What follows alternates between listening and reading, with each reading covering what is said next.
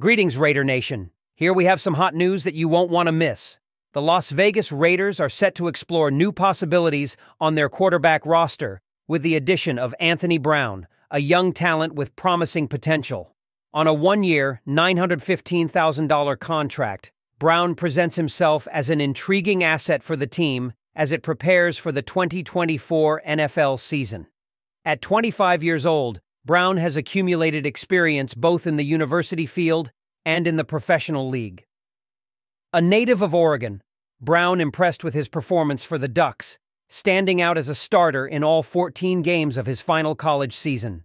During that time, he demonstrated his ability in both the passing and running game, accumulating 2,989 passing yards and 18 touchdowns, along with 151 rushing yards and 9 scores. His career path took him to the Baltimore Ravens in 2022 as an undrafted free agent, where Brown gained league experience, appearing in two regular season games, including one start against the Cincinnati Bengals, where he threw for 286 yards.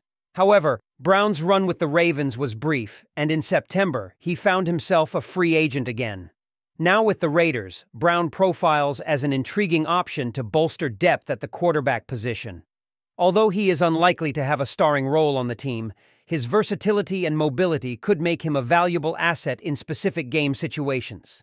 His ability to run direct plays at the goal line or in short yardage situations could provide the Raiders with a dynamic option in their tactical arsenal. Brown's fate on the 53 man roster will depend largely on the decisions the Raiders make this offseason about the quarterback position. However, his arrival adds an extra layer of competition and depth to the team, which could prove beneficial in their pursuit of excellence next season. Ultimately, Anthony Brown's future with the Raiders will depend on his ability to prove himself during the offseason and convince the team that he deserves a spot in the lineup.